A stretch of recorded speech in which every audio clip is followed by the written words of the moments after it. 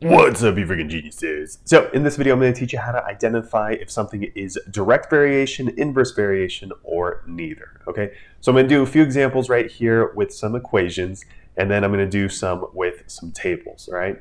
Now, the difference between direct and inverse variation is right here.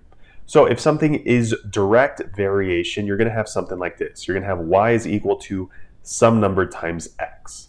And for inverse variation, it would just be, well, the opposite of multiplication, it would be division, right? So you're going to have y is equal to basically just some number over x. All right, so for these few examples right here, the first thing we're going to do is solve for y and then see if it matches one of these two forms, okay? So let's start with this one right here. Uh, we have x, y is equal to 5. So we're going to solve for y, right? So we can just divide both sides by x. These cancel out. So then we get y is equal to 5 over x, right? So as you can see, we got y is equal to some number over x.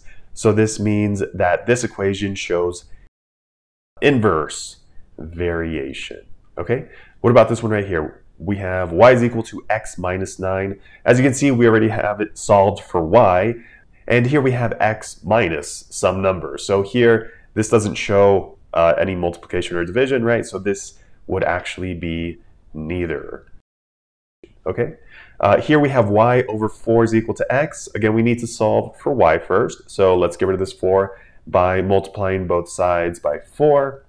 Right, those cancel out. So then here we get y is equal to x times 4, which is just 4x. So as you can see, we have some number times x. So this shows direct variation. Okay, uh, here we have 8y is equal to x. So we can get rid of this 8 two different ways, right? We can divide by 8 on both sides, but one thing that'll be a little bit more helpful here is just multiplying both sides by 1 eighth.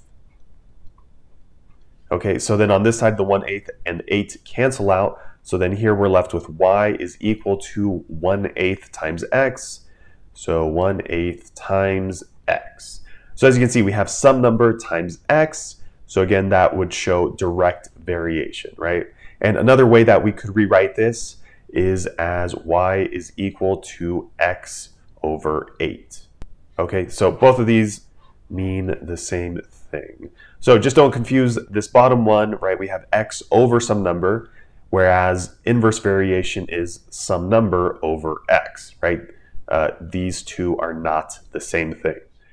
Okay, and then here we have x, y is equal to 1 fifth. Again, uh, here we can get rid of this x. We can either multiply both sides by 1 over x, or we could just divide by x, right? So this time, let's just divide by x on both sides. So then here those cancel out, and we get y is equal to 1 fifth divided by x. Now, in order to divide fractions, you need to multiply by the reciprocal, right?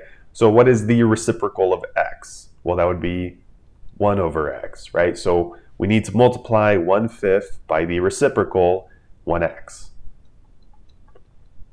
Okay, so then here we get that y is equal to 1 over 5x, right? y is equal to 1 over 5x. So we have some number over x. We do have another number basically attached to x, but that's okay.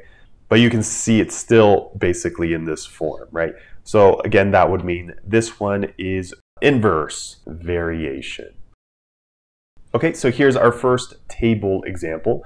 So here are our x values, right, 2, 4, 6, and 8, and our y values, negative 12, negative 6, negative 4, and negative 3, right? So the first thing you want to do is basically just make a new table, and on top we want to find uh, the products, aka we just want to multiply x and y, and on the bottom we just want to divide y and x, okay? So then we're basically just going to mimic this table over here. So in this first spot, we're just going to multiply our first pair of x and y. Okay, so our first pair is right here, right? 2 times negative 12, and that's equal to negative 24. Here we want to multiply our second pair of x and y. So our second pair is right here. 4 times negative 6 is negative 24, right? Third pair, uh, 6 times negative 4, again, is negative 24. And the fourth pair, 8 times negative 3, is again negative 24. Okay. Now on the bottom, we're going to divide, right? y divided by x. So negative 12 divided by 2 is uh, negative 6. Negative 6 divided by 4 is negative 6 fourths. Third pair is negative 4 divided by 6, right? Negative 4 over 6. And lastly, we have negative 3 eighths, okay? Now, what we want to do is look for a pattern in one of our rows. So obviously you can see that there's a constant pattern on this top row, right, where we multiplied x and y, okay? So again, these are the products, and these are the ratios, okay? So since our pattern occurred up here with the products, right, the products have that constant pattern, that means that this table shows inverse variation.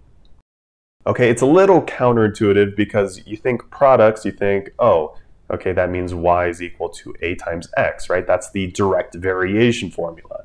So that means products, but it's counterintuitive. So if your products in this case are constant, then you would basically pick the opposite. That would mean inverse variation. All right, here's the second table we're going to look at. And again, the first thing you want to do is just make a new table where the products go on top and the ratios, or basically just division problems, go on the bottom. One, two, three, four. Yeah, that's good. All right, so on top, we're going to multiply x times y, the first one, right? So 3 times 12, that's equal to 36. Uh, the second one, 7 times 28, is 196. This third one, 10 times 40, is 400. And the last one, 15 times 60, is 900. Okay? Now, on the bottom, we're going to divide uh, y divided by x, right? So 12 divided by 3 is equal to 4. Uh, 28 divided by 7 is e equal to 4. Uh, 40 divided by 10, that's equal to 4. And 60 divided by 15 is equal to 4. Okay, so as you can see, this time our constant pattern is on the bottom, right, with the ratios, right? So since the ratios are constant, that means this shows, again, it's counterintuitive, right? So this shows, this table, direct variation. All right, here's the last table that we're going to go over. So again, the first thing you want to do is just make a new table uh, where we're going to find the products and the ratios, right? So one, two, three, four. All right.